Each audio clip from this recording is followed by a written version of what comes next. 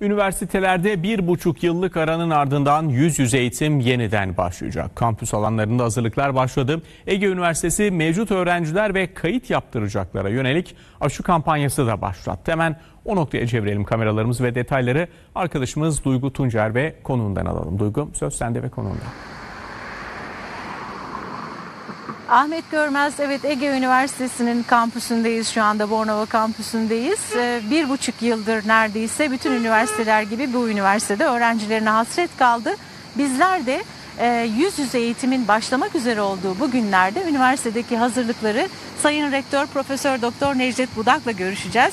Efendim Ege Üniversitesi yakında eğitim öğretim dönemine başlayacak. Ne tür hazırlıklar yaptınız ve çok özel bir aşı kampanyanız var. Bahseder misiniz bunlardan? Evet Ege Üniversitesi olarak 2021-22 eğitim öğretim yılına 11 Ekim'de yüz yüze Sağlık Bakanlığı tedbirleri kapsamında başlayacağız.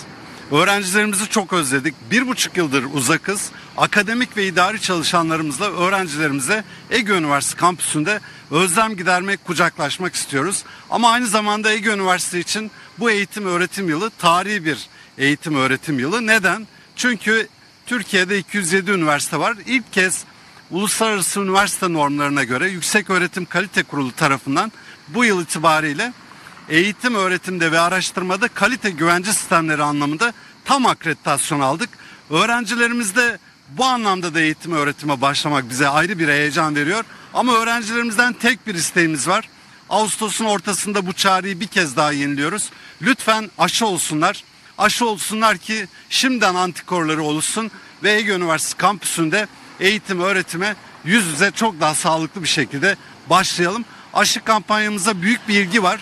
Öğrencilerimize gerek yaptığımız sosyal medya çağrıları gerekse öğrenci işlerimizin kampanyası ama aynı zamanda hastanemizde ve e, kampüs merkezimizdeki aşılama merkezlerimize de aşı e, çalışmalarımız devam ediyor. Normal vatandaşlarımıza da öğrencilerimize de e, aşı anlamında destek oluyoruz.